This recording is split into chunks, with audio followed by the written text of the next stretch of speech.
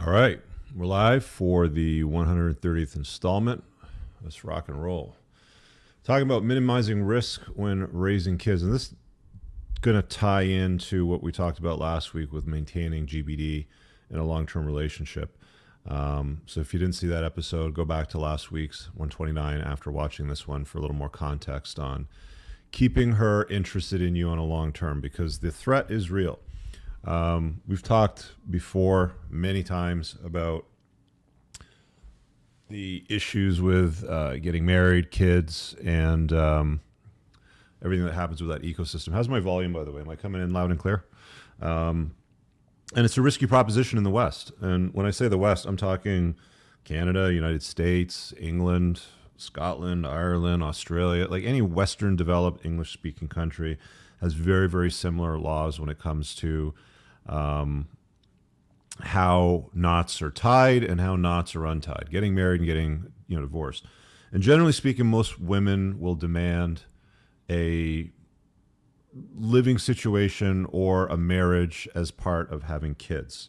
Um, there are places in the world that it's a little bit more common where people don't get married anymore. Um, they're more egalitarian. Uh, I know the province of Quebec in Canada, a lot of people have kids and they don't get married. Um, but there's lots of things to talk about in the show, which will enlighten those that are always asking the question. Somebody asked during my um, 700k uh, Q and A on the Entrepreneurs in Cars channel uh, to talk in detail about raising kids and reducing the risk. So I thought I'd dedicate it on the Unplugged Alpha. Um, you know, get into a little more deeper, dive into the weeds, sort of thing. So if you're new to the channel, make sure you subscribe, hit the like, do all the good stuff. And uh, apologies for the main camera not working. It's still down. It doesn't focus for some reason. Spend seven G's on lens and a body, and the freaking thing doesn't cooperate. I'm resorting to the uh, webcam for this show. So that's why you're getting this angle. Hopefully, we can get it fixed for the next show. Um, all right, let's get started. Let's get started on this rabbit hole of insanity. The amount of work that you're going to have to do to minimize the risk, it is not low. I'll start by saying that. It is not low. It is a amount of work which I think, you know, if I'm being honest, most guys will probably avoid, but you've asked for a video on this topic, so I'm giving it to you. You ask, you shall receive. Uh, okay, let me share a infographic that I put together months ago. Uh, here we go. Let's see if this pops up on a screen. Is that big enough for you guys to read? Hang on, let me see if I can enlarge it for the full screen here. Um, good enough? Seems that way anyway. Pull it out a little bit more this way. See if we get larger. Nah, it doesn't do much. Okay. We'll go with that. We'll say that that works. So there's four quadrants that every dude will fall into. We'll start by saying that. Okay. Um, there's uh, your so on the left hand side, you've got the top shelf guys, the alpha sort of characters. On the right hand side, you got the betas. On the top of the quadrants, you've got uh, your unplugged characters, and on the bottom, you've got the plugged in characters. So bottom left over here, as you can see my cursor on the screen, you can have a plugged in alpha, you can have an unplugged alpha, you can have an unplugged beta, you can also have a plugged in beta. Uh, the arrows that you see that I've illustrated here are the movement that most people sort of move uh, to and from. All right, so the vast majority of guys you'll see will move from the plugged in beta category to the unplugged beta. Very few will go over to the unplugged alpha category. This is the top 5% of men. Oh, why did it do that? Come on, cooperate. We'll go like this. This is the top 5% of men here. No. For real? Okay. You know what I'll do? I'll just zoom it in this way and I'll slide it over. That way you get the same effect. Or we'll go with that, whatever. So the top 5% of men, you get some naturals in there, uh, but most will arrive there through work. Some sort of belief that they had uh, in relationships, women, whatever it is you want to break it down to. Um, force them to deal with some issues in their life that come to resolutions. So the bullet points here, they might be harder for you guys to read on the screen. I'll just read them out. Um, so top 5% of guys live mental point of origin, chase excellence, not women. Men want to be them, women want to be with them. They have a look, they signal status and have pre selection. Pre selection just means that um, they're just known for who they are. You know, you can walk into a room and they establish who they are by the way they carry, carry themselves. Um, their reputation precedes them, that sort of stuff. They're significant and excellent problem solvers. I think being a problem solver is one of the most important skills to develop if you're going to be an entrepreneur or if you're going to be a successful guy in life with options. Being able to spot and adapt and deal with problems is incredibly important.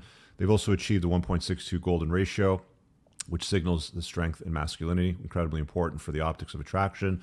Broad shoulders, narrow waist. A lot of dudes will, you know, talk to me on these shows. They'll call in, uh, you know, they'll send me DMs, and I'll look at their social, and it's like, dude, you're fat. You've got to deal with the belly fat. You got to deal with like just go to the gym. It's get a gym membership. They're not expensive. Pick up heavy shit, put it down. Even if you don't have the means for a personal trainer, just there's lots of free information on the internet, which clarifies and establishes what you need to do to build a strong masculine frame. The golden ratio is what is uh, the standout attraction cue for high value men universally around the world. I'll keep moving on. Uh, they're outcome independent results. Sorry, they're outcome independent to results, so they don't really care. Uh, you know, they look for the best results. If they get the bad results, fine, we'll deal with it. It's not the end of the world. Uh, they generally are or are becoming anti fragile. The anti fragile guy uh, improves when chaos hits him in life. I've talked about the notion of fragility and anti fragility before. There's a book called Anti Fragile. If you haven't read it, I encourage you to check it out. To summarize it, there's three distinct categories there's uh, fragility, there's uh, robustness, and um, there's anti fragile. Uh, fragility, obviously, something will break when chaos is added to it. So you can drop something, gravity. Uh, you know, you can have piece of glass like this uh, water bottle that I've got. Put it in a box, drop it, it'll probably smash. That's you know, it's a fragile item. A robust item, nothing will happen to it. Doesn't matter what happens when chaos hits a robust item. It doesn't get worse, it doesn't get better, it doesn't break, it doesn't improve. An anti-fragile uh, individual improves when chaos is added to their lives. Uh, an example would be uh, what happened during the scamdemic when people were either forced to do certain things that they didn't agree with. Uh, so a lot of them, the vast majority of them, ended up having to comply. There was a small contingent of people out there uh, that didn't, and they also found ways to improve their uh, status in the world during that uh, period of chaos, if I can put it that way. Um, uh, so we talked about the improvement of fragility. Uh, they generally have accumulated or are accumulating seven figure plus wealth. They only allow women in their life if they're a complement, not the focus. They spot problem women fast and they remove them. And don't worry about all this, guys. This will end up um, in the next book. I have uh, the School of Unplugging, which is coming soon. All of this will be broken down in detail.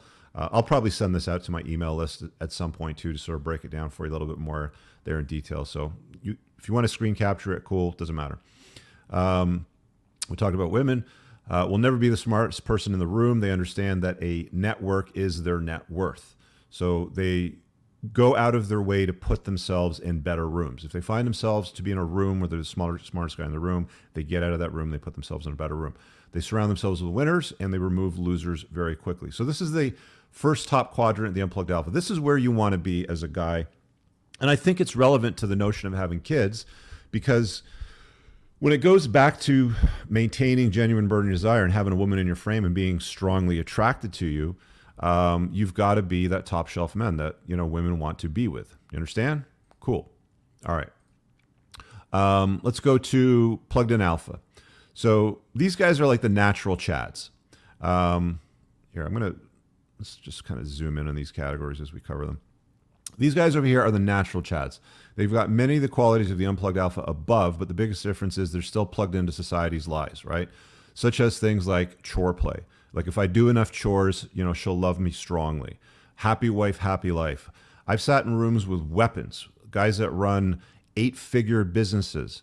Uh, they started them from the ground up, but they're still the same dorks that will sit there and be like, well, happy wife, happy life. And, you know, as long as I keep Becky happy, everything will be fine. Okay. So you can be viewed by the world as a strong, virtuous alpha male, but also be plugged into lies.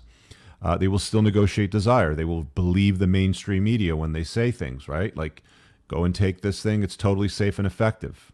Sure, how did that work out? Uh, they pedestalize women and they vote for things like big government. Again, uh, these same rooms that I've been in where you've got these weapons running eight figure businesses.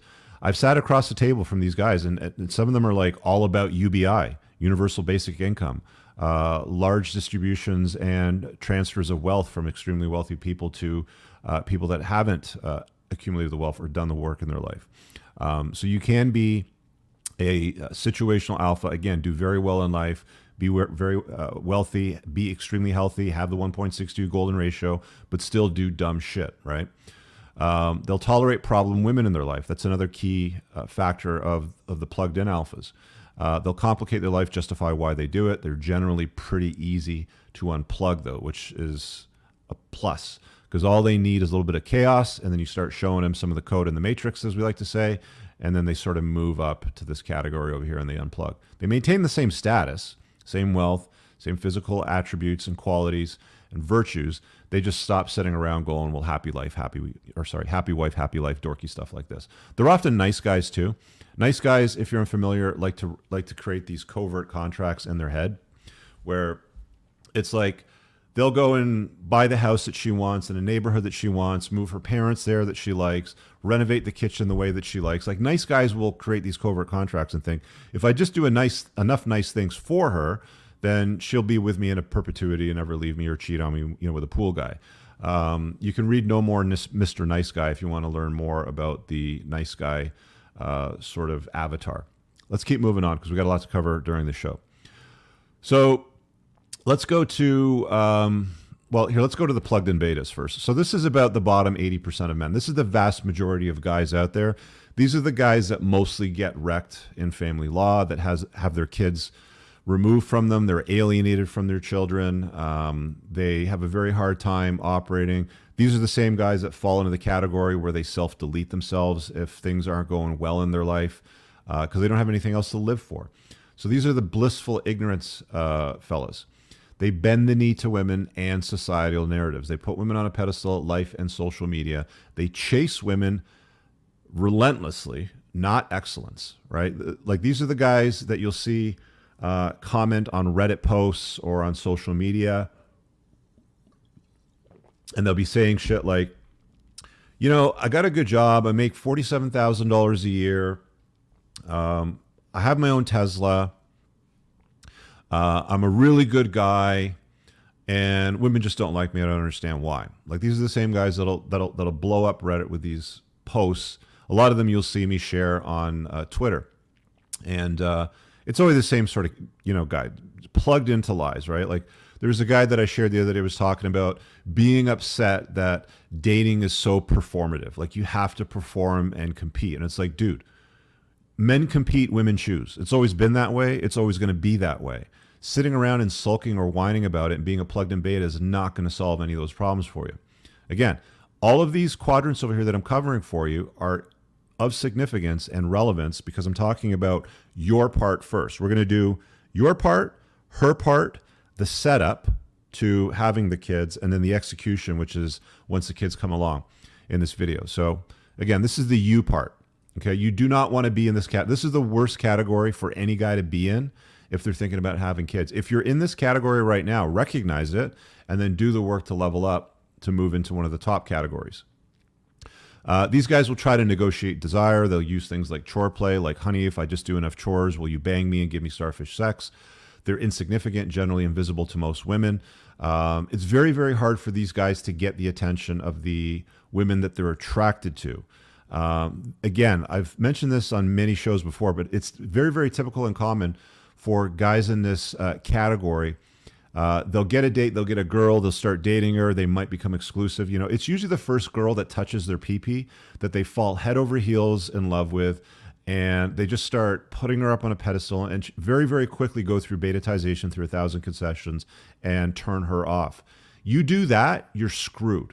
She's she's going to take your kids and run. You know, she's going to look at you as a guy that she might have seen as uh, adequate at that time, uh, handsome enough to be with or to reproduce with, but changes her mind later on down the road when she sees um, that you're not the guy that she wanted to be with on a long term basis.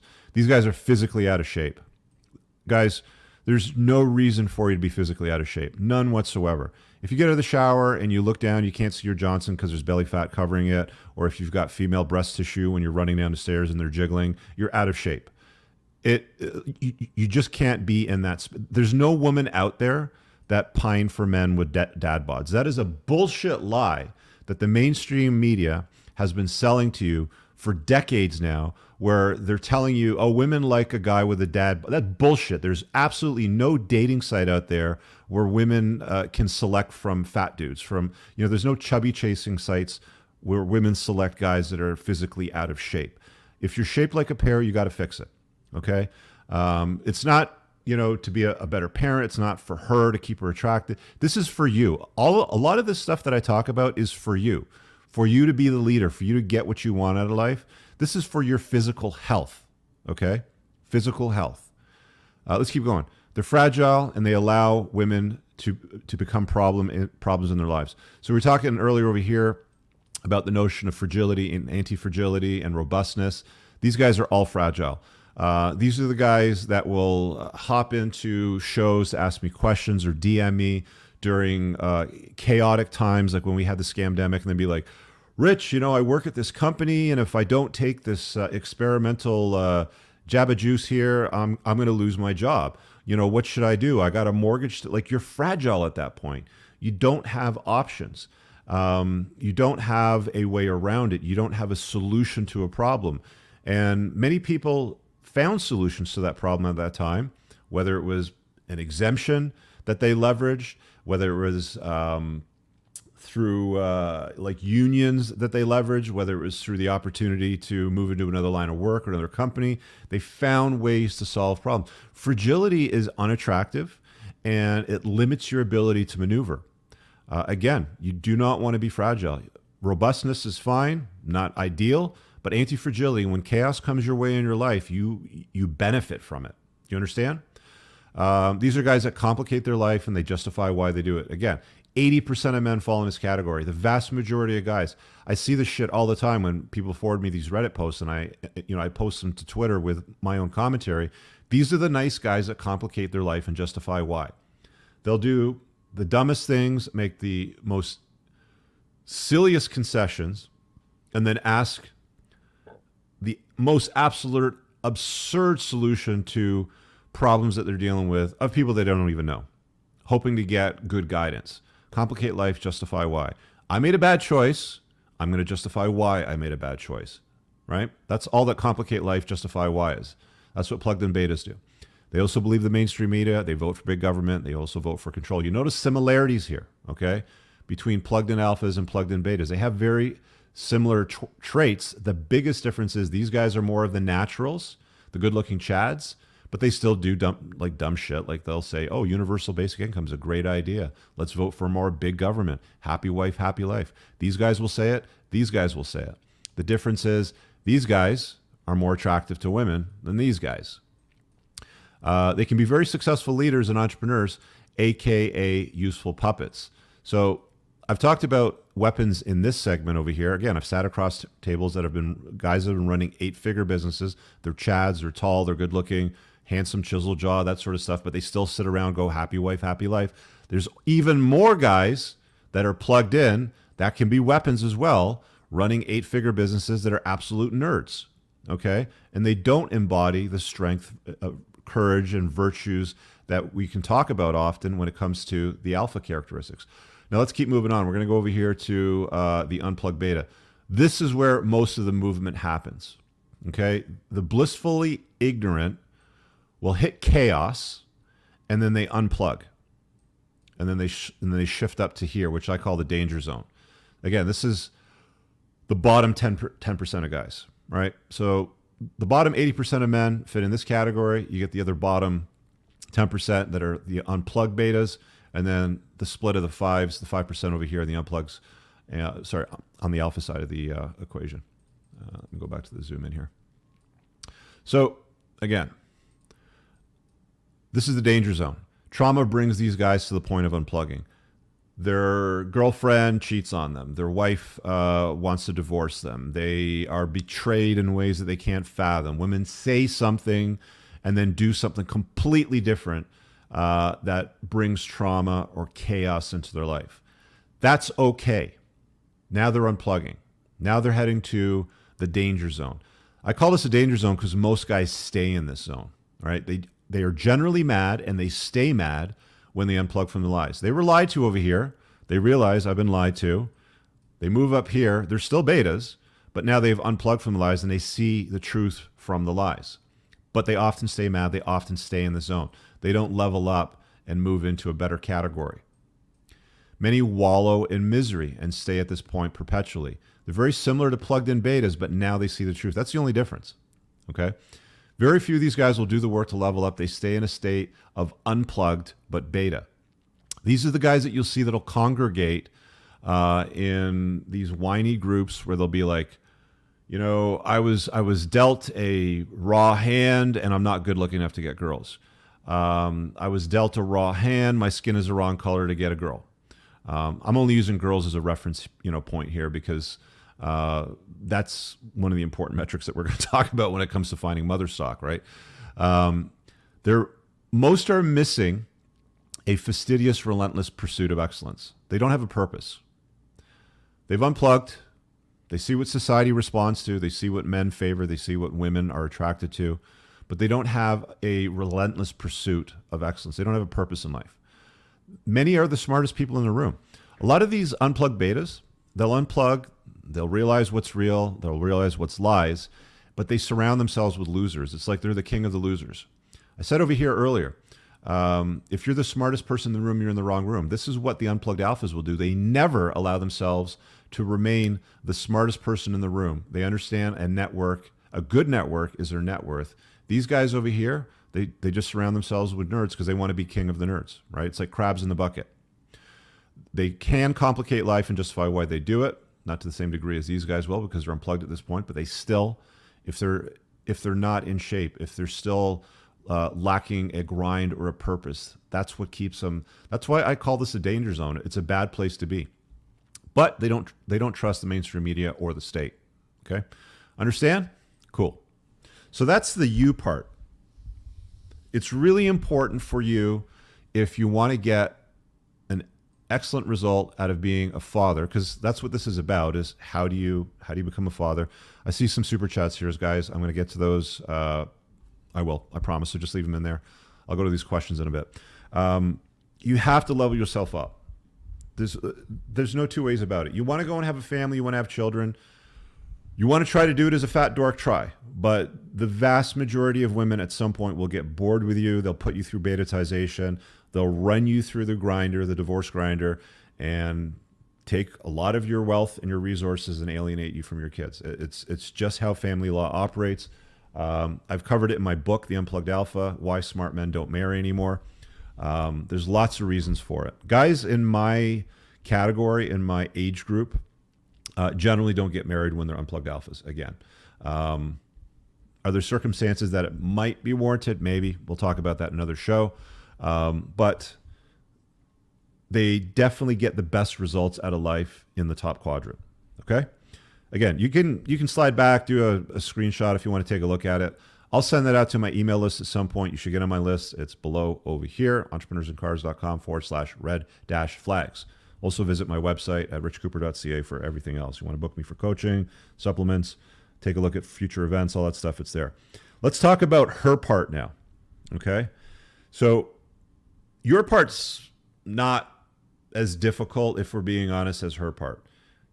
Getting rid of body fat, develop, developing a strong masculine frame, understanding what works, doesn't work. Read the Unplugged Alpha over and over again. Read Evo Psych, the books that I've talked about. The Evolution of Desire by David Buss. Why Women Have Sex by David Buss. Uh, these are all very good established reads that will help you unplug from the lies. The alpha part is you obviously becoming confident, influential, having a good social network, uh, being masculine, virtuous, courageous, all those sorts of things. Got it? Good. Her part. First thing we're going to talk about is red flags. 21 of them. I'm not going to get into detail because I've covered the red, the red flags many, many times before. You can go back. I think I did a video on it in the last six weeks on this podcast channel, uh, detailing all of them. But you should avoid women with red flags. Um, I was watching a video that was in my feed the other day. What was it? Uh, Chris Williamson, Modern Wisdom, or something like that. Um, he had this Matthew Hussey guy on. Uh, look, I understand that he's that he's handsome, he's well spoken, and he's got a great accent that women love, and he mostly panders to women. But the title of the video was something along the lines of red flags, and he's talking about women that don't um, that aren't accountable, or I think in general he might have said, you know, people that aren't held accountable. Uh, men can be held accountable. Men love to be held accountable. Strong, virtuous alpha males love to be held accountable and will do the work uh, and take ownership for stuff. Um, but I don't think that saying like, well, a woman that's holding herself accountable means that it's a green flag, or if she doesn't hold herself accountable, that's a red flag. The vast majority of women aren't held accountable to any standard. And that's just a statement of fact. It's not disparaging, it's just a reality. Women very rarely are uh, going to be held accountable to anything. You can try to hold them accountable. We see these podcast shows. Um, I've even tried to do it, you know, with women that come on ladies' night, you know, from time to time. But a lot of these podcast shows are like, let's hold women accountable and um, you know ensure that they understand these basic facts, and they just don't. They don't care. Doesn't matter to them. You know, if you tell a woman that uh, you know promiscuity is going to lower your uh, dating options, you know, your options to have a strong guy, uh, climbing the corporate ladder, uh, chasing a career is a bad idea. You know, you're going to miss your opportunity to have kids. They don't care because there's always some guy out there that's whispering in her ear or in her DMs or somewhere, you're beautiful, you're wonderful, you can't do anything wrong. Uh, it's it's it's everywhere. So you know the notion of of some of these red flags that I see on YouTube, horrible fucking advice, um, missing the main points. Understand the 21 red flags spot the 21 red flags and vet for mother stock with the 21 red flags. Avoid women that exhibit a lot of red flags that I talk about in that chapter in my book. You don't have to buy the book. Again, you can get it for free below. Just opt into my email list and you can download it immediately. It's a PDF. Okay. So that's the first thing. Look for red flags, vet for them. Um, if there's red flags on that list that can be worked on, that she's working on, and it's obvious to you that she's working on them, good. Okay, maybe she's worth entertaining as mother stock. You shouldn't stop spinning plates at that time. Um, it, you know, if, if she's indicated that she's chosen you, she's got a strong interest in you, she's got genuine burning desire, but you point something out like, look, um, I can't take a woman seriously that has a shopping addiction. You're spending a lot of time buying uh, lamps, returning them, nightstands, ottomans, decorating your house, uh, hanging up curtains, taking them down. You put up one chandelier you don't like. You like if you have an addiction to shopping, buying shit, and returning it. Uh, that's not for me. That might be for some other guy. That's not a brutal red flag. Like you can't undo promiscuity. If she slept with 100 guys, you can't ever undo that. That's a huge red flag that'll never change. What you can do is you can draw a line in the sand and say, look, I don't take women seriously that have a shopping addiction, or I don't take women seriously that sit around for hours upon hours uh, on social media or watching shows like Bachelor or some shit like that, right? Like mindless garbage. Um, so those are lines in the sand that you can draw where you can delineate good from the bad. You know, you separate the wheat from the chaff. I'm not going to spend any more time on the red flags because I've covered it so many times. I think you guys should go back and watch that video that I did in the last uh, six or seven weeks. Let's talk about her family. If you're going to have kids with a woman, her family is going to matter. Do you get along with them? Are they aligned with you? Do you have similar opinions and views in all realms? Uh, Self care, in politics, in uh, lifestyle choices, and religion, if that's a thing for you. Do you have alignment with her family? Because it's not just you and her, it's you, her, and her entire uh, network, right? Um, some some guys sign up for some weird stuff where they'll get involved with a chick from a culture where it's like I don't know, Eastern Europe, Russian, Philippines, or you know something like that. And all of a sudden, you're not just with this girl, but you're with her entire family. And in some cases, you're required to provide not just for her and your kids, but for her entire family. So understand what you're getting into. A good two-year vetting period is still always advisable. Always two years. It's not a huge amount of time for a 39 year old that's on a dating app. That's all. Oh, my eggs are drying up. I need to get married now she's not going to wait for that. And really, why would you want to rush through something if you don't even know who the hell she is? But if you're dealing with a chick that's like 24, 25, and you want to vet her for a few years for mother stock, she should have no issues waiting two to three years for you to see what she's made of. You're not going to tell her, I want to see what you're made of, but you're going to watch what she's all about. Barely know you, want to, you know, meet your family, want to learn more about you, sort of thing. You want to watch how they behave when chaos is applied uh, to life or the relationship. Are they resilient to it? Do they break down and throw hissy fits? Again, a lot of this stuff I talk about in the red flags. What's her family like? Do you get along with her family? Do you get along with her brothers? Do you get along with her sisters? Do you get along with her dad? Does she have a good relationship with her dad? Is her mom kind, right? Um, or do you sit there and you watch the family bicker back and forth? Um, I remember I was dating this girl, I think I was 30 at the time, or maybe late 20s or something like that. And um, her parents had just moved back from somewhere in Asia. They were teaching or something, and they bought this new uh, kind of like a retirement bungalow. And I'm sitting there and I'm watching, and this was one of the first times that I met her mom. I'm watching her mom browbeat the shit out of her dad in front of me. She wasn't an attractive lady. That's another thing to look at too. If you want to know what your kid's mother's going to look like later on down the road, by the way, take a look at her mom because she's bound to look some, like some version of that. And she's browbeating the crap out of her dad, treating him like a utility, like an accessory, uh, like a handyman to all of her. It was like, you know, she wanted to say jump and she was expecting him to say how high, right? Watch the family. She will behave like a version of her parents.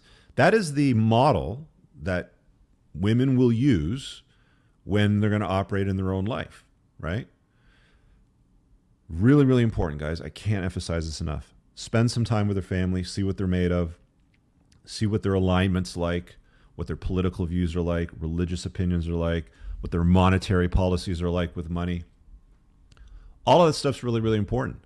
If you can sit down with her old man and have a beer, a drink, whatever the hell, you know, for several hours and just shoot the shit and agree on a lot of stuff, pretty good. Same thing if she's got brothers and sisters, pretty good. Another really important thing that you might want to contemplate as well uh, birth order. So let's talk about birth order. Birth order is really important. A lot of people overlook the significance of birth order when it comes to long term pair bonding, especially for mother of kids. It's really important for mother of kids because you want a chick that's glued to you. You don't want a woman that's going to exercise the untying of the knot, leveraging of hostile family law to destroy you, alienating you from your kids. This is the costly shit that is problematic for men. This is the problem that men face. This is why we're doing this cast today, because men face the very real reality very real reality. You can hear you can hear the severity of the problem here. The the the the significance of all of this because family law encourages women to untie the knot and benefit from it financially by being the custodial caregiver to the kids. She has the kids, she gets more of the money, she gets more money monthly. Uh, there's many Western countries where women actually get more than half of what the matrimonial wealth happens to be. So birth order is significant because firstborns and lastborns statistically always do better, right? So I'm a firstborn. Um, I generally, if I'm going to date on a long term basis or invite a chick in my life on a long term basis, it's going to be on the notion that I'm a firstborn and she's a lastborn. Like firstborn, firstborns don't work. I tried it um, a few times. I've I've dated a lot of professional uh, power women that have climbed the corporate ladder. I've mentioned before, my ex wife was a lawyer. She was also a firstborn. That obviously didn't work out. Um, but again, I, I've dated a lot of these, like, like the vast majority of pilots, CEOs, entrepreneurs, uh, high ticket sales uh, people, uh, professionals, doctors, lawyers. Like the vast majority of people that get into these fields are all firstborns. Okay. It's great for creating wealth, it's great for accomplishing things. Uh, but for long-term relationships and for mother stock, you want to you want to match the best way that you possibly can. Firstborns do best with lastborns. Middle children can get along with just about everyone. Um, so that's the benefit if you're a middle child. Only children, they can be a bit of a problem if they're an only child. They can they can throw a little bit of a hissy fit. It's it's always about them. Uh, they were put up on a pedestal, sort of growing up because they were the only kid. Um, so you can have some difficulties with only children. Not not that you can't have a relationship or have children with a woman like that, but just understand that what you get, you know what you're getting into. Uh, what was the other uh, ratio? Oh, and lastborns that have more than five years between them and the next oldest siblings take on the personality traits of a firstborn. So I could be firstborn. I could meet a girl. She says, you know, she's a lastborn. Oh, okay, cool. So what's the age age difference between you and the next oldest sibling? Twelve years. She's basically now a firstborn, right? She's got the personality traits. You can read a book on the subject. It's called, um, I think it's called the Birth Order book.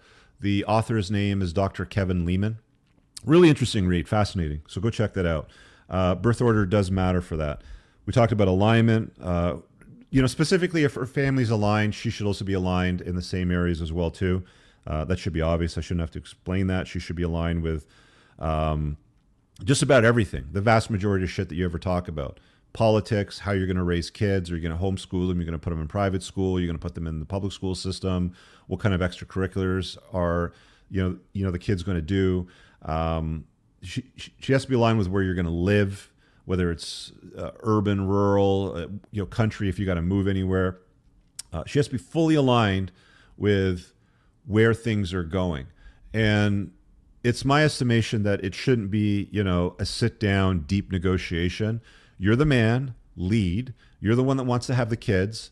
You should be vetting for mother stock that is that is going to follow uh, the path that you've chosen. Uh, men are responsible to uh, plot a course and find a way to get from A to B. Uh, women don't want to plot the course. They don't want to adjust the sails and you know do all that sort of shit. They just want to get on the boat and fucking suntan and take Instagram photos, right? Like it, for guys, it's your job to plot the course and then take her to the destination. Uh, I think that these that these people that often say things like, "Oh, you know, you got to be an equal partnership and you got to agree on these things and negotiate all this sort of stuff." I remember um, I did a video on um, Jordan Peterson's breakdown of marriage. He had a three-part series on Daily Wire. It's on this channel, by the way. If you haven't watched that video, go back in the catalog and find it. Um, the biggest flaws that I saw with his encouraging guys to just man up and get married, there was no vetting. There was nothing like he he would basically say, "Well, you want to sit down and negotiate everything, right down to where the scissors go in the utility drawer." Like I'm going to sit here and argue about where the scissors go in the utility drawer. This is this is the advice that you're going to get from a lot of the tradcons, right? Take it for what it's worth. You know, if you want if you want that, go for that. I'm telling you, you know, from a statement of fact, from my experience and from the guys that I've coached, bad way to go about it. Go watch that video because I broke it down in extreme detail. Um, let's talk about her part. You know, continuing on. So we've got a few more notes here. Purity matters. There's there's guys that will push back on this. Um, I had a conversation with a polygynist, has six wives in Australia. Casey, I've mentioned this before. Uh, he's of the position that it doesn't really matter because all women go through a hoe phase um, and that he's he's mentioned that he's found that women that were virgins when he got with them uh, often, no matter how good he is to them in all realms, whether it's in the bedroom or uh, you know in life in general, taking care of her, uh, will at some point step out because they haven't had any other experience. Funny argument that he made was something along the lines of, um, what did he say? Oh, if his D is so good, then this guy's D must be better. So let's go and explore. So that's one angle that I've heard. That's not been my experience, and that's not what the data suggests. Um, the research that's been done on marriage and uh, men and women sticking together to raise kids over a long period of time is pretty clear. Um, women that have a large notch count and started accumulating notches younger in life. So let's use two examples. Um, Becky, who started accumulating notches at 14, and when you meet her in her late third or, or in her late 20s or 30, let's just call it, she's accumulated a notch count into three or four figures, maybe. Uh, is less desirable than a woman that started to accumulate notches at 23 and was only with two guys. Um, the data on this seems pretty clear. It, it, it's it's obvious that mar- that marriages, if you're going to use marriage as a uh, yardstick, uh, are more prolonged and of higher quality when a woman hasn't been the village, village bicycle. Um, the percentage of your your chance of having a divorce and her leaving, and women initiate them 70 to 80% of the time, still, by the way. Women still get 70 to 80% of the custody orders. The vast majority of wealth flows from the father to the mother. Um, so if you're going to take on the risk of all this, I don't think that you want to do it with a chick that's got a large notch count. Um, the argument that makes the most sense to me is if you're going to have a disagreement and she's been with 100 guys, um, what's going to stop her from saying, well, F this guy, I'll just go to 101, right? Uh, because she's conditioned. She's used to moving from guy to guy. There's not a lot holding her to the guy. So I think that purity matters. It's one of the things that I think that you should vet for. You're not going to get an honest answer. You're not going to be able to sit her down and be like, okay, so tell me, how many guys have you been with, sort of thing. You have to establish it through lifestyle. Um, was she with one guy for her entire 20s when you met her at 30? Okay. Uh, if that's the case, chances are it's probably just a very low notch count, like one or two. Okay. Uh, if she's if there's a total absence of a long-term relationship in her 20s and she spent it traveling europe backpacking asia uh, through australia working on cruise ships traveling around the country you look at her social media and every photograph is of her traveling to a different place uh, sitting in front of a plate of food that she probably didn't pay for that looks rather expensive on yachts on private jets and exotic cars she's been around a block. Um, you kind of establish it through lifestyle. Some guys will be like, oh, well, just ask her and then double or triple the number. Okay, fine. That's one way to do it. Um, the bottom line is her past matters to you because your future matters to her. Am I going to be able to preside and protect and provide? Good. I'm, I'm glad that you see that as valuable to you because it is valuable. Uh, but did you, and I want to know her past, did you run around? You know, did you did you share your body with a lot of dudes? Because um, that's not desirable for a whole bunch of reasons. There's some really really weird and disgusting things that have been researched and studied and proposed, um, which I'm not even going to get into. They've done fruit, fruit fly studies on this sort of stuff where it's like um, they found DNA uh, in the bodies of uh, the females that wasn't from the uh, uh, father or anybody else. It's just guys that she spent uh, time with. And again, this study hasn't been replicated in humans yet, but you see a lot of uh, a lot of the guys on the interwebs using that argument to dissuade you, obviously, from that. And whether it's true or not, I don't know. But you know, there's a, a canary in the coal mine there. Uh, the other note that I have here is you want to stay away from the alpha widows. Um, if she has an attachment to a guy from her past. Uh, okay, so here's an interesting stat. Um, when they survey women in marriages, 50% of women in marriages admit to having a backup plan. Now, let's just paint a picture here. You're a woman, you're married, you've taken vows, you have you have his children now. Why do you have a backup plan? Why would you admit to having a backup plan? It's an interesting question because 50% of women admit to having a backup plan. Having a backup plan is duplicitous, it's deceitful. Uh, the guys generally don't know that she has a backup plan. She's generally not exercising a backup plan. The backup plan is usually an ex boyfriend, uh, friend, a work husband, maybe. Um, what else do they call? Even gay guys sometimes too. You know, they'll be like, uh, like, like. There's a lot of dudes that will use what's called sneaky fucker game to sort of like uh, get into a woman's orbit. And there's any number of ways to do it. They can play the friend zone. They can do any number of things. This is very common uh, through much of the animal kingdom. Actually, there's a lot of sneaky fucker game out there uh, where like males will sort of sneak into the female sort of zone, and usually they pretend to be a female or they'll disguise themselves somehow. Very very interesting stuff when you get into the animal kingdom and and how.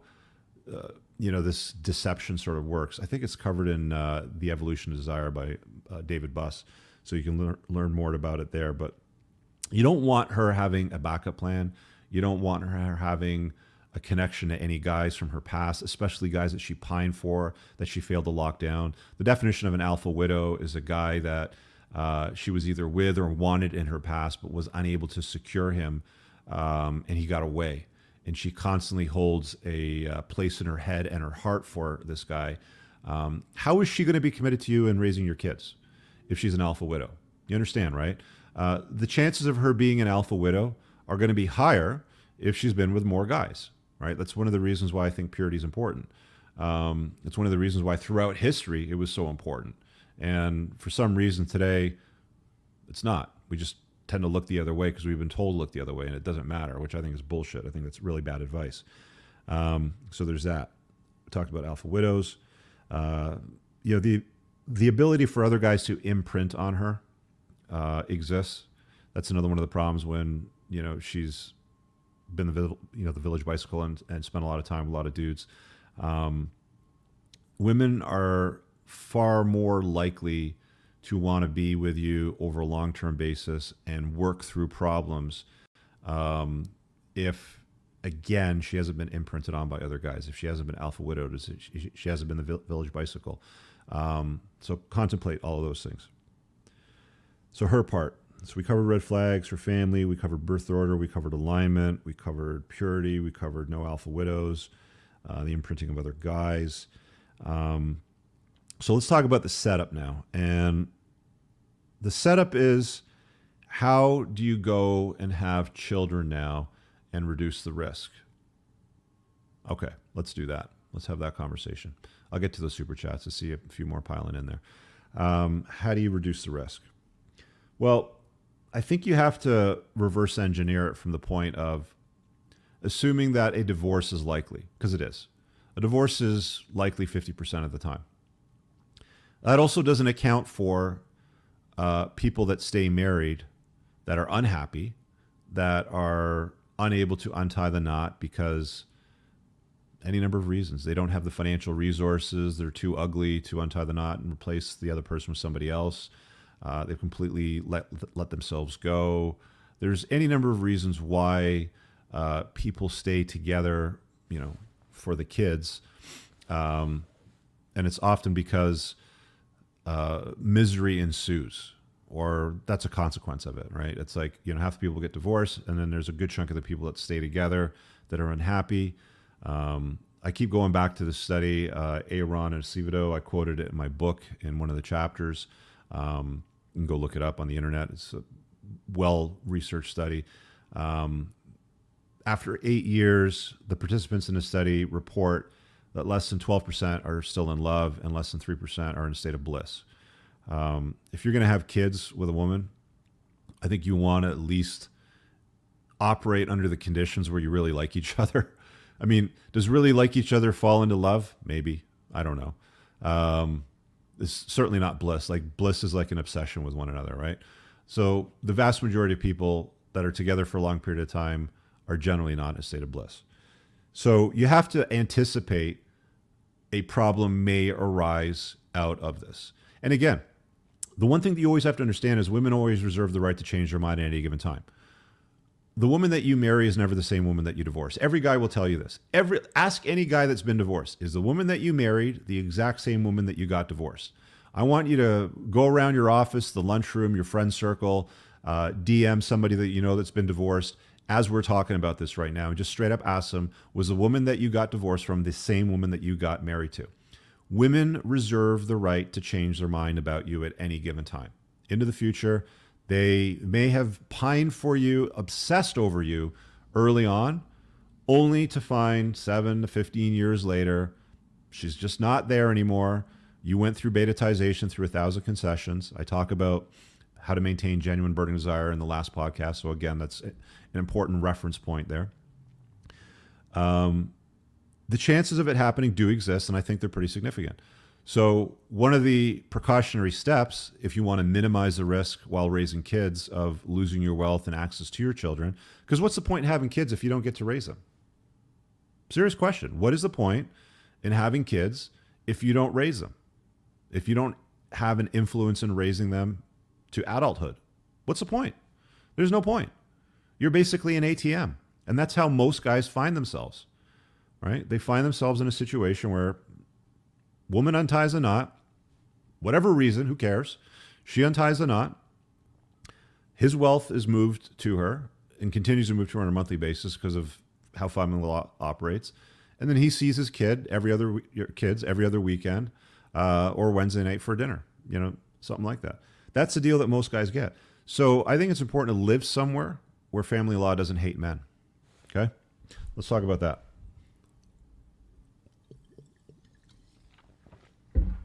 I'm going to use um, the United States as an example in this one. Uh,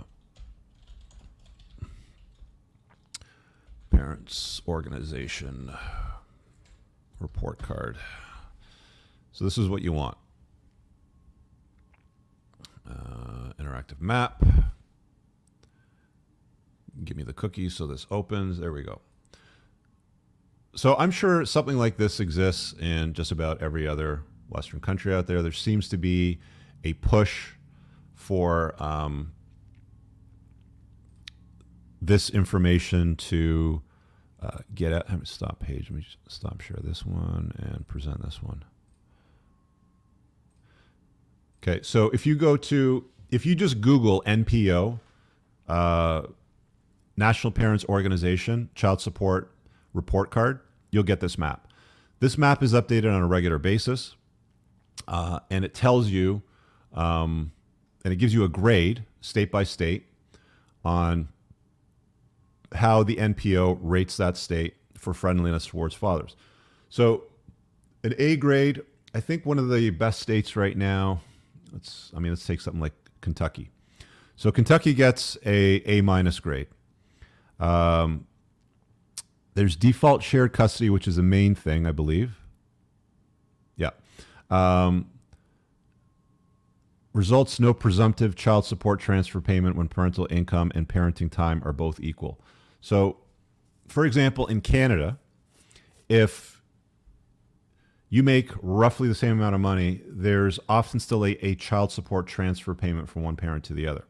Okay. Um, in in states that, that are getting high grades like AIDS, sorry, A's, not AIDS, A's, um, they're generally default shared custody parenting states. So what that means is you don't have to fight for custody, right? So if 50% of the time, um, having a kid and guys, let me say this first of all. Okay. Some people say, well, just don't get married. That doesn't matter because if you live somewhere where common law exists, at some point, could be a year, could be three years, depending on where you live. Check with family law where you live. At some point, even if you don't get married, even if you don't go to a church and have a ceremony and all that stuff, the state still sees you as a married couple and they will deal with your assets and your income and the division of those assets in a matrimonial home and alimony support, child support payments as if you're married. So opting out of marriage isn't a solution. Um, one of the solutions that um, uh, the TradCon crowd come up with is, well, if we just eliminate uh, no fault divorce, that doesn't solve anything. That doesn't solve anything. It doesn't remedy any of the issues. Okay, it just makes it harder to get divorced. They'll, if there's a will, there's a way. They'll still find a way to untie the knot. If she wants to get away from you, she'll find a way to untie the knot. Okay. Um, so taking a look at a map like this and understanding where the best places are for fathers to have kids, I would move there. I'm just being honest with you. You know, you guys ask me this question all the time. How do you minimize the risk in having kids, Rich? I'm giving you the fucking answer. This is one of the main things that you need to be prepared to do. Let's say you live in the States and you look at a map like this and you live somewhere that's hostile towards uh, fathers. Uh, what state is this? Washington. Okay, it gets an F grade. You live in Washington. You meet a gal. She wants to have kids. You want to have kids. You vetted her. Good family. Alignment. You're firstborn. She's a lastborn. Uh, she doesn't have any of the red flags. If she has a red flag, she's working on it. Good. She looks like mother stock, but you live in a shithole state that hates fathers. Move. Go to a map like this.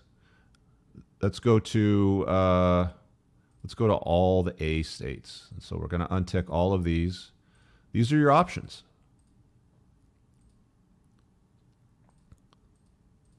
These are your options. There you go. Boom. Florida, Kentucky, Michigan, and California.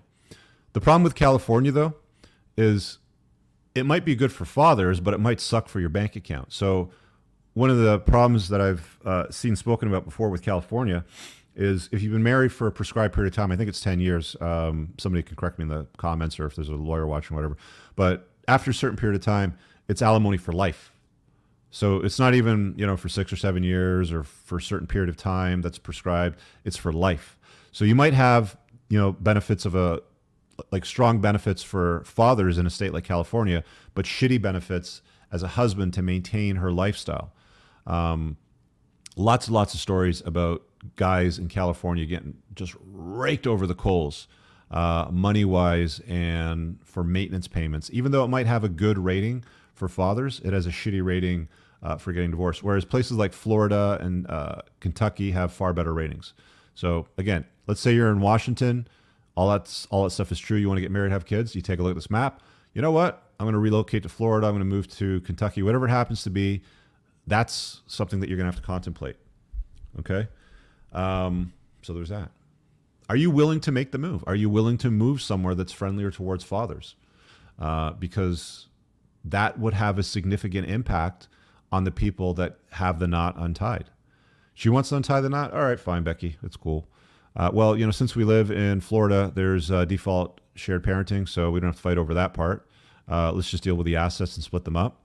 And uh, the state also says that you're owed whatever for maintenance or alimony for this prescribed period of time, shorter period of time than it would be in California, for example. Uh, I don't know why we would want to live in California. The tax rate is ridiculous.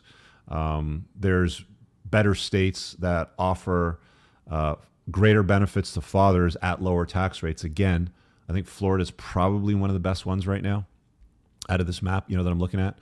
Um, but there you go. So there's that. So that's so that's part of the setup.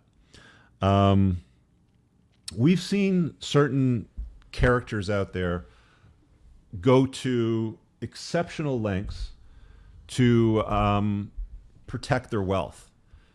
So um, somebody's going to have to correct me in the, uh, the, the comments on this, but there was that footballer. I can't remember his name for the life of me right now. Um, married a Spanish soap opera star. She was a few years older than him. Sorry.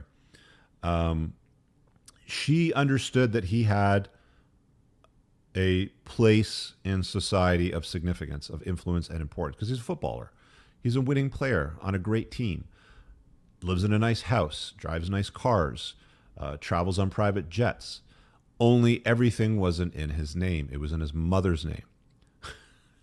so there's certain preventative steps that can be taken in anticipation uh, of the mother trying to leverage the corrupt family court system because it's not just in the states or Canada or England or in Spain it's in most western developed countries there's there's some level of fuckery that you're going to have to navigate and I'm not a lawyer and even a lawyer would not be able to tell you all the bullshit ways that you could get screwed over in all the different countries.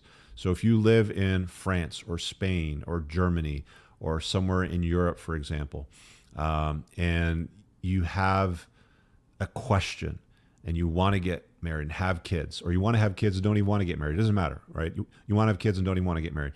You should still talk to a family lawyer and ask them, hey, we live here. Uh, when people untie the knot, how does that work? Right? What sort of precautionary steps can I take? Buy a, an hour of a lawyer's time. It shouldn't cost more than four or five hundred bucks. It's entirely reasonable. Yeah, Achraf Hakimi, thank you. Um, this dude over here. You can go look it up. There's there's all kinds of uh, press pieces around it where he's talking about um, how how he basically how the ex-wife now is surprised that she's not getting anything because nothing was in his name. Now there might be laws where she can turn back the clock on that. Uh, fraudulent conveyance is um, something that is used often here in Canada, um, where look, I'm not getting into the legal terms and all that and all those details, but you should talk to a lawyer where you live so that as part of the setup, uh, you've taken the precautionary steps to set yourself up right. You've got the asset set up right. Um, you've done it well in advance of any nuptials.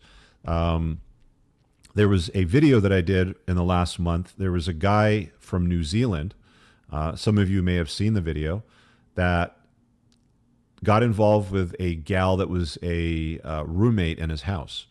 Um, he had a few other roommates. She was one of them. They started dating. Uh, he was divorced, by the way, and he ended up getting the matrimonial home as part of divorce. He had to buy out his ex wife as part of that divorce. So after that was done, uh, he moved some people in to help, I guess, pay the mortgage, let's say. And one of the people that he moved in was a, a gal. He starts dating this gal. They start banging. Uh, she ends up moving into the master suite of the house. The other roommates end up moving out. They end up having kids. Before they start dating, by the way, she tells him, and apparently he was able to present this to the judge. She tells him, I think that you should probably put the house um, in a prenup or some kind of a trust. I can't remember what it was exactly, but uh, take a precautionary step, let's just call it, to ensure that he is the owner of the home should the relationship break down. Uh, so they have two kids. Sure enough, the the relationship breaks down. And what did I say earlier? Women always reserve the right to change their mind at any given time. She has she hires a lawyer, and the lawyer manages to get her half the house, even though she told him before they got into a committed relationship that he should protect his assets um, and create. I can't remember what the mechanism was at this time. Let's call it a, a trust or something like that create some sort of barrier to prevent her from um, acquiring the house. And he thought that he did the right thing. And, you know, he thought that it was virtuous of her to encourage him to do that. I'm sure she knew what the fuck she was doing. And she knew that there was a carve out of some sort of loophole. Um, and whatever steps were taken were taken. But either way, at the end of the day, this dummy who ended up buying out his first wife from the matrimony home and paid her off so that she could go ended up having to get another mortgage to pay off the the new gal that he was dating that was a roommate that he had a couple of kids with um, the house a second time. So he's ended up paying out two women twice out of the same house. The setup is really really important. I don't think that you should rely on any other anybody's advice other than a lawyer that's licensed to practice family law in your state and has a good deal of experience. I think that it's a good idea to spend money if you want to have kids uh, to understand what you're getting into. And if it doesn't look good, you don't need to tell her, I sat down with a lawyer and it doesn't look good. Just be like, this isn't where I want to live. I like this place better. Let's move here. And then move the family there, right? Because she's in your frame, she's got genuine burning desire for you you know she's on your mission she wants to be a complement to your life not the focus so she'll go along with it right keep in mind guys in none of this am i saying fuck the kids because this is where this this video will get like manipulated. Some some psychopath will be like see richard hates children. He doesn't want them to be looked after. At what point did i say that? Of course a father is going to take care of his kids okay? Of course. I'm encouraging men to take care of their kids. Why wouldn't you? But if the kid needs $1,000 a month and the child support table say you got to pay $12,000 a month, how is like how does that work out? How does that fucking fair? Right? I'm asking guys to ask questions of themselves and set their life up in such a way that it's not going to bankrupt them, create major inconveniences or allow her to leverage the corrupt family law system to alienate him from his own children, his own DNA, his own name, the whole purpose of him having kids stolen from him because this is common. It is very common and it happens very often. So, we talked about lawyers, we talked about where to live. Let's talk about the prenup thing. Doesn't matter if you get married or not. If you're going to live in a way that looks like marriage to the state, you're going to need to get a prenup. You, a lawyer may call it a cohabitation agreement, may call it a prenup. Doesn't matter what he calls it, you need some kind of an agreement in place because you're planning on having kids, which deals with how you're going to untie the knot, how the relationship will be unfolded. Okay. And by the way, you can't contract outside of family law in a prenuptial agreement. So, what that means is if you live in a state that's hostile you know, towards fathers. So let's say Washington. Uh, you're probably going to get fucked. You you probably won't see your kids. She'll probably try to alienate you from your kids. If you live in a state like that and you have a lawyer draft up a prenup that says, um, "Oh, we're going to agree to uh, split custody 50-50," that doesn't trump what family law says. If family law in the state says that most moms are getting the kids, or if that's the precedent that's generally set through the corrupt family court system, that's probably what's going to happen. It doesn't matter what the prenup says. It doesn't matter. You can't contract outside of family law. What you can do for children, let me just be specific. What you can do, though, is you can say, well, I brought $5 million to the table. You brought $80,000 and 200 grand worth of student debt to the table. If things untie, I'm going to keep what's mine and you're going to keep what's yours. And as far as the parenting issue, you know, with the kids goes, you're you're going to have to rely on family law depending on where you live, whatever that state says. So you have to understand that. Okay? So I would still get a prenup. There's there's a contingent of people out there that says they're not worth the paper they're written on. They're like toilet paper. I've heard lawyers say they're absolutely valuable and they work. Get one.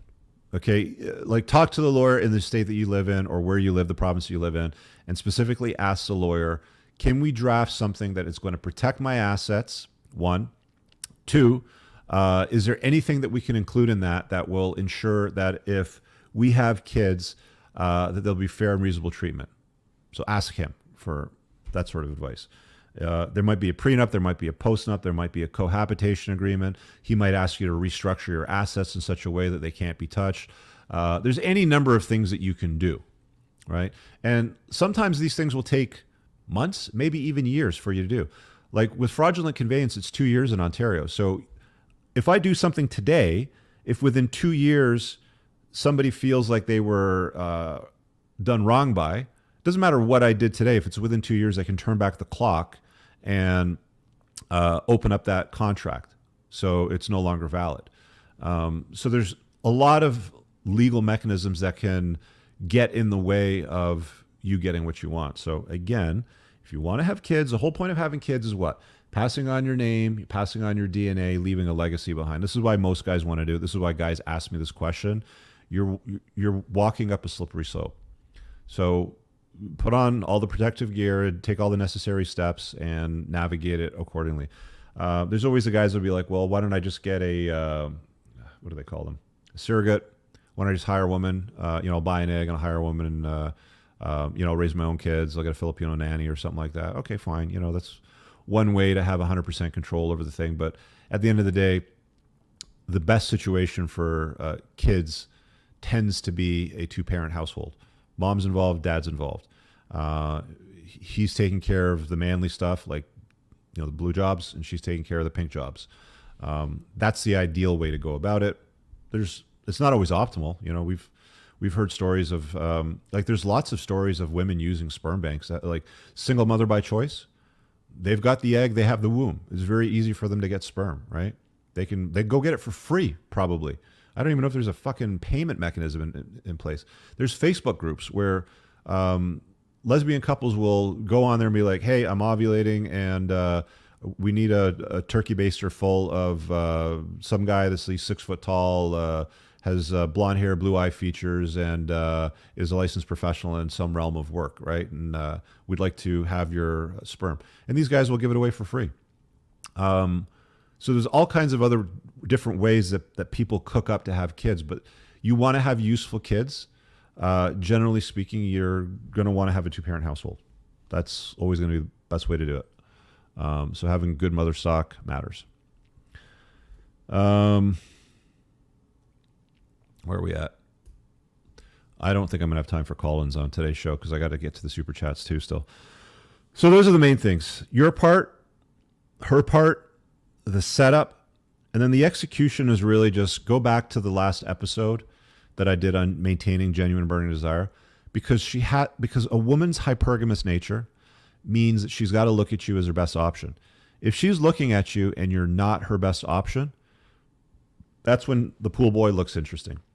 That's when Steve from accounting looks interesting. That's when Kevin, the VP of sales, looks interesting to her.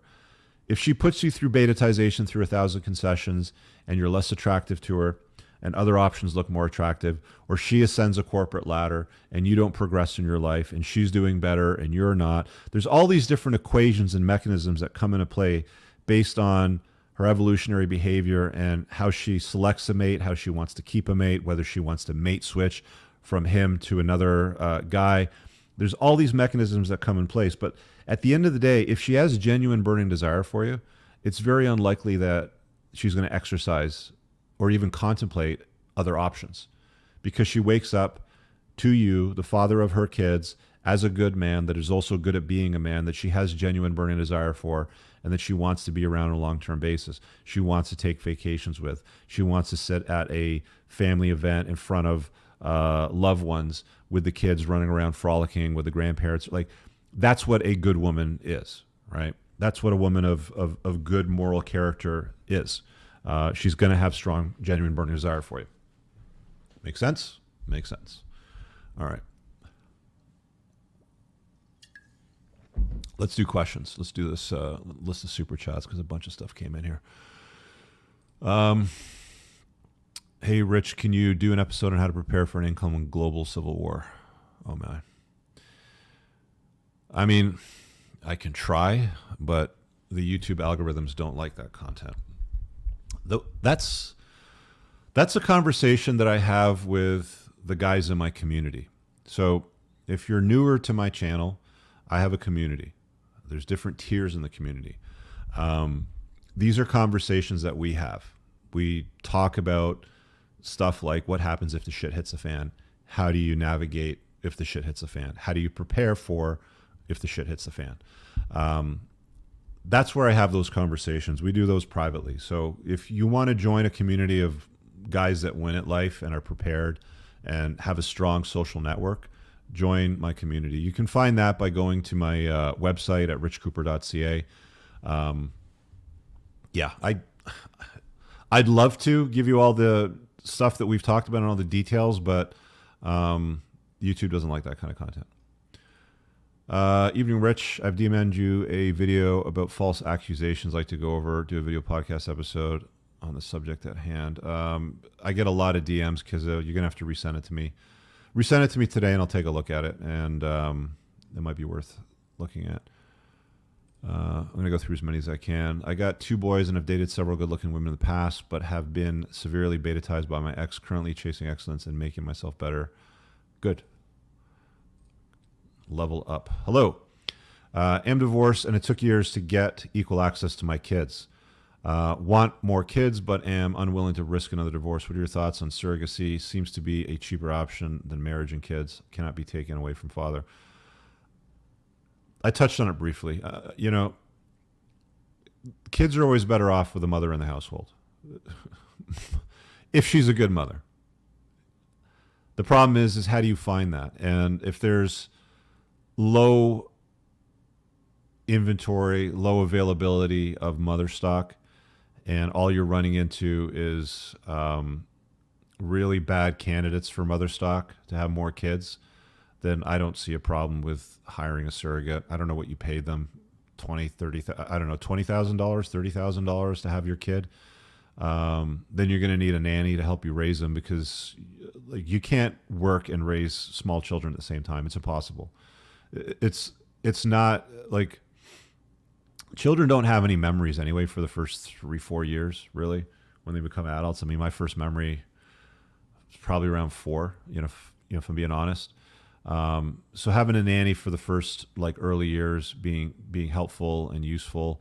And there's also the notion of like schooling. Like, how are you going to school? Are you going to homeschool them? You're going to put them in the public school system. I mean, I touched on it briefly, but I'll say this: like, if you if you're going to have kids, why would you put them in the public school system? I think it's an incredibly bad idea. I, I just do. Um, the even even the private school systems are not that much better. Um, I remember looking at some private schools, you know, for my kid, and there was one that we went to that had all the signs of like the wokeness in it. There was rainbows, there was flags, uh, transformer flags, um, inclusivity notions, and sound bites all over the place. Um, they're not much better, and again, like the whole point of raising or having kids is to pass on your name and your DNA and leave a legacy. And why would you want them to adopt the matrix mindset? Because that's what it is, right? Like the the the public school systems, the the marketing, the Hollywood, the Disney f- films, the sitcoms, uh, music, uh, TikToks, social media, everything out there is trying to turn your sons into weak, compliant pussies and your daughters into whores.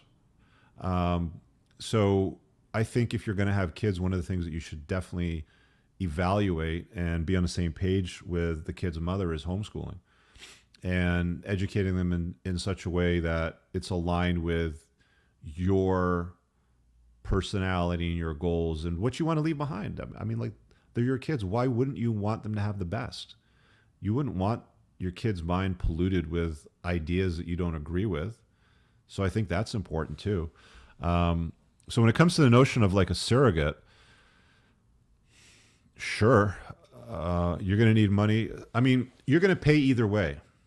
You're going to pay either way. You're going to pay to support probably the mother of your kids stay home and raise them and turn your house into a home, or you're going to pay a nanny uh, to help you do the exact same thing and homeschool on terms that you like. There's also, um, you know, I've been made aware of these uh, networks or these homeschooling groups that sort of like um, they follow a certain protocol. Like a buddy of mine, um, he didn't he didn't have time to raise his kids, and he moved to a part of the world where um, it was better than woke Westerness or woke Western sort of agendas, but he still didn't like the schooling option. So what he did was he collaborated with a bunch of other expats, and and they set up their own school. Um, and it wasn't big; it was small. There was like you know a couple dozen kids, you know, in total. Uh, but the curriculum was all agreed upon by the parents. The parents were out there putting their dent in the universe, uh, you know, making money. Um, the school followed uh, all the boundaries and guidelines that the parents had set out. And if anybody tried to join the school, I found that you know this story was interesting too. He said there there was a couple of times where um, expat parents who were more drunk on the woke Kool Aid try to put their kids in this school and they refuse them because in the interview process um, you know they discovered that they had some beliefs that uh, weren't aligned with the teachings of the school. Um, so there's different ways to do things like that. It's it's you have to be very very deliberate you know i think is a point that you know we got to make there. Um, giuseppe says hypothetical scenario. What if a man is stuck in a marriage where the wife refuses to submit the husband and the wife continuously crosses boundaries and she wants to leave her marriage as soon as possible, should the man try to fix it or leave? That's tough, especially if you have kids. Um, if you don't have kids, I would leave. It's not even a question. It's like there's no kids involved, out, done. Like I'm not going to try. Uh, you've probably already tried. Um, if you've got kids involved and you live somewhere that's hostile towards fathers, and she's got a bunch of red flags, I would try to find a way to minimize the risk of the knot untying and damaging you severely. Because let's be honest, the knot will probably untie. She'll probably want to get out. She'll find a way to get out. But I would find ways to delay, minimize, or reduce the risk of harm coming to the kids and you. Uh, because this is a scenario that many guys deal with. Like, there's this is a very very common question. I have I have some high net worth guys that are like engineers in the FANG companies making lots and lots of money, eight nine hundred thousand dollars on an annual basis, and they tell me the story on an ongoing basis. Usually, guys that come to the states um, from Asia, from Europe, or something like that, they marry an American woman. Um, they make in bank like bucks deluxe and then these chicks are just horrible to deal with. Um, they won't cooperate. They're disagreeable. Uh, they're they're malicious. They're mean. They're just mean people, and they stick around for the kids, and they try to fix shit. And if you can't fix it, I mean, what do they say about the definition of insanity? It's doing the same thing over and over and over again, expecting a different result. If you get to the point where you find yourself doing the same thing over and over again and you're not getting a different result, then you're insane for letting it happen. And you have to go through the process of um, acknowledging, owning that, and untying that. Uh, Kizza says on Jordan B. Peterson, he failed with his daughter, and now she's a single divorcee mother. Actually, she got married. Uh, it's it's, it, it's funny because she got married to that guy younger than her. her. I think she's 30 something and he's 20 23 24 she's he's he's considerably younger than her and his name also happens to be jordan which i thought that was funny. Um, who was with russian communists who came to be in possession by a demon. I mean whatever. I don't i don't like to spend a lot of time on the jordan peterson daughter dynamic because uh, it sucks uh, what are your thoughts on sperm donation? Wouldn't it be a good option for a guy seeking bachelor life only? I mean, like I mentioned earlier, there are these Facebook pages that have couples looking for sperm donors. Um, so the vast majority of the time, if you donate sperm, whether it's through a clinic, and okay, here, let me just back up for a second. The first problem you have with this is you don't raise the kid all you're doing is scattering seed. And if all you want to do is scatter seed, okay, that's one way to do it. You could scatter a lot of, lot of seed by donating sperm, for sure. Uh, we'll call that the Genghis Khan method of uh, passing your passing on your DNA into perpetuity. Um, he didn't raise any of the kids, didn't have an influence on them. The vast majority of them were just like either uh, whatever. I'm not going to get the details. Um, so there's that part of it. So if that's important to you, then it doesn't tick off that box. Now, let's talk about the people that are acquiring sperm, let's say women, the women that are acquiring your sperm through the donation method. That might seem like a good idea or a way to have kids without even having any obligation to the kids um, or financial, you know, responsibility, but you don't have any authority, you don't have any raising them. But let's say that that's your thing. You just want to scatter seed. The problem with it that I've seen and I've seen these Facebook groups uh, where it's so it's either lesbian couples or it's a uh, male female couple, like a heterosexual couple, where the guy is so low T, so soyed out that his sperm doesn't have any mobility and she can't get pregnant. They've tried. Um, and they look exactly like you'd think they'd look like. You know, like when you see the social media avatar for the soy boy couple, um, they look exactly like they look like, look like. They typically vote strongly far left. Uh, they're drunk on the woke Kool Aid. Um, I wouldn't be surprised if the kid that they have, if it was a boy, they would they would transition them. Um, so the point that I'm making is, do you really want to put your? It's like putting a Ferrari engine in a fucking 30 year old rusted out Honda Civic. It's the same thing. Um, yeah, you're putting a Ferrari engine, but it's going into a shitty housing. And that shitty housing is going to be raising your seed for life, 20 years plus, right? So there's that. So I I'm not about it, but if you want to go Genghis Khan and scatter seed, just know that you're scattering seed in less than ideal uh, parent stock. Uh, hey, Rich, do you think about having uh, much children, pe- like people did back in the day, as a tactic to make it less easy to leave and stay together. Yeah, that's interesting. Um, so, in Buss's studies uh, from Evo Psych, people tend to stay together when they have more kids. So, no kids, higher chance probability of divorce. One kid, still a high chance. Multiple kids, you have lots of kids uh, the probability of divorce goes down. Not to say that it's not going to happen. Um, I talked about this, I think, on a general show, but there's a Mormon fella uh, out there who's popular. He talks about style. I mentioned him in my book, The Unplugged Alpha. Um, his name's Tanner Guzy. He's a nice guy. I've met him. Um, we don't agree on the things that I talk about because he's Mormon and he's got seven kids with his second wife now. He's been divorced once. Anyway, his second wife is leaving him uh, pregnant with a seventh child.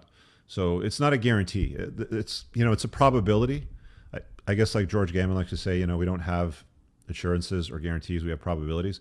The probability of the knot untying is lower if she's got a bunch of your kids, but it still exists clearly, as I just you know stated. Um, some articles accusing Huberman of plate spinning five women. Also something about trying to have a baby via IVF. He's trying to dodge some law. Thought no. Uh, I think the IVF. So I read the article and I tweeted about it the other day. I mean, who cares?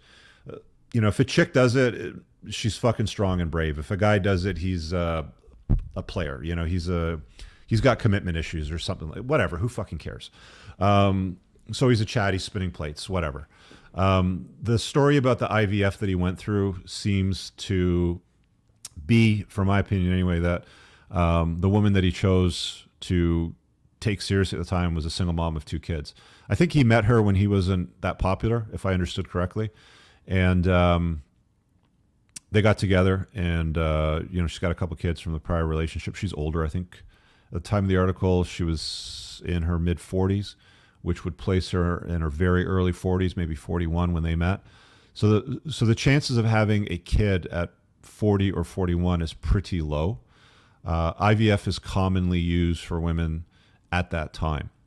Uh, it sounds like Huberman wants to have kids. The best, his best bet, if I'm being honest, I mean, if he wants my advice on this, and he doesn't really fucking need it because he knows these things, is find a younger woman, and find a woman, a younger woman that rewind this video to the, the start, ticks off all the boxes that I talked about earlier so you can minimize the risk of losing access to your kids and being alienated. So there's that. Um, okay, we're almost done here. There's two more and we'll wrap up. I resent the video DM. Uh, it's from my friend Aiden Palian, filled to the brim with citations of study. Okay, I'll take a look at it, bud. Um, Seppi, genuine desire, and her picking you as her first choice is paramount. Yeah, thousand percent. 1000%. But again, she could choose you as her first choice. You could she could have genuine burning desire. She could do all of the things that I talk about in my book that exhibit GBD. Um, but as Esther Perel has pointed out in her studies and her work, she's a psychologist, women's desire for a man tanks quickly over time. So if you had desire on one axis here and time on the other axis, a woman's desire tanks like a hockey stick A man's it also goes down, but it's much slower.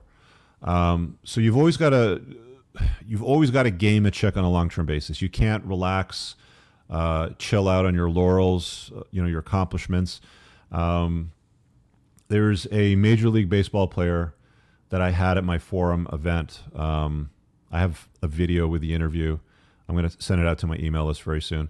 Um, and world class, uh, inducted to the Hall of Fame, um, an an athlete with tens of millions of dollars, you know, to his name, maybe even more. But when he retires, he sits on the couch, kicks his feet up, wants to take a nap. His wife comes in the room and says, "What are you doing? Why are you taking a nap?" And he said, "Look around. All of this is because of my career. I think I can take a nap." Right? Women will question you. They will shit test you. Desire will diminish over time. Um, she will, like the standard that you set, the thing you got to understand, the standard that you set in a relationship, in a marriage, on a long term basis with a chick, she now thinks that this is, you could be fucking Brad Pitt. Brad Pitt got divorced several times. Um, Jeff Bezos got divorced. Uh, you could be the richest guy in the world, and a woman will still untie the knot and divorce you right? Because women reserve the right to change their mind at any given time. The standard that you set at that level, they're going to think that they can replace you or find somebody that's adequate enough to. Re- remember, women are hypergamous, right? They want to be with guys that other women want to be with, that other men want to be. They want to be able to look up to a giant. They want to know that you're the best option.